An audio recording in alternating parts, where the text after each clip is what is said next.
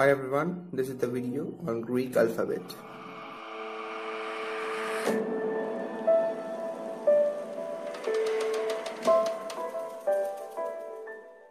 In many numericals, derivations and theories in modern physics, chemistry and mathematics, Greek letters reoccur most of the times. And while studying the textbook of these subjects, whenever we come across these letters, we often make mistakes in pronunciation. So we need to know about the pronunciation of these letters. But uh, you must be thinking that uh, why do we need to learn Greek? I mean, uh, what is uh, the special on it? Well, this is a, a good question. Uh, it is because of several reasons.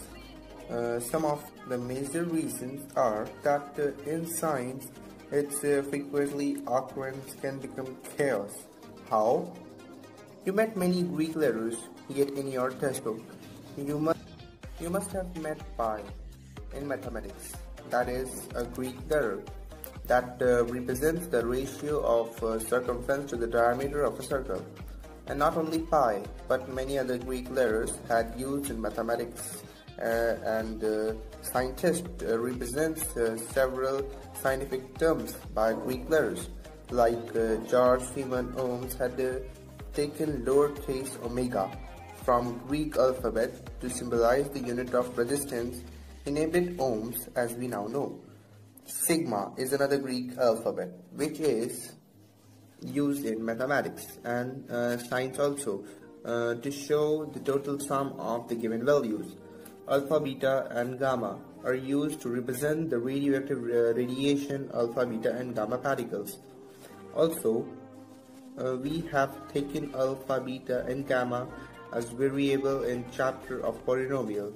Similarly, uh, rho for showing uh, or representing or symbolizing the, the resistivity of element and epsilon for resistivity of medium and relative resistivity and so on Greek uh, alphabet used in our physics so at least uh, students of science stream must learn this and uh, there uh, is a second question must be arise by many uh, students that uh, why only Greek alphabet? Why not other? Well, it is exactly and equally a good question uh, like one we had answered previous. Uh, it had also a very simple answer. Greece have been being a so important country in Europe as well as world because it has some uh, great ancient culture, heritage, and development of science uh, there and uh, and due to its famosity scientists took Greek letter to symbolize their scientific terms and formula or units. And the advantages that we get by these letters is that uh, it become catchy learn and it's bring evocative imagery to the learner. It helps to recapitulate everything that is relative to uh, the symbol.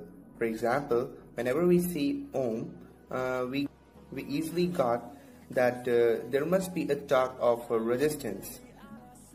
So learning uh, Greek is important and learning uh, Greek alphabet is so easy also.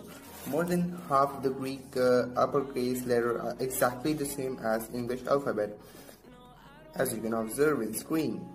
So actually we know more than half of the Greek alphabets. We just now need to know its uh, in a proper order and the correct pronunciation.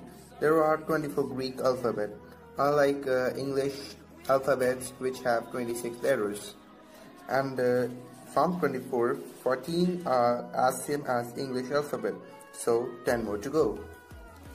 This is alpha, uh, this beta, gamma, delta, this is sometimes written in the upper uh, line of a chemical equation to show that heat is uh, involved uh, in the reaction. And uh, this is this is epsilon used to symbolize resistivity of medium. This is zeta and eta and this is theta. As we know uh, used to uh, show any angle in trigonometry. This is iota kappa this is lambda as we have uh, familiar with it used to show wavelength uh, this is uh, me uh, this is pronounced as me however uh, here it is written mu uh, but it is pronounced as me. This is nu this is z, Omicron, pi 3.14159265358.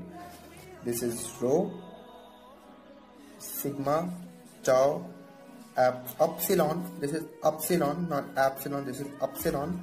This is uh, phi, phi 1.618, the golden ratio. This is chi, this is psi, and uh, this is the last omega to represent ohms in the sign uh, SI unit of resistance.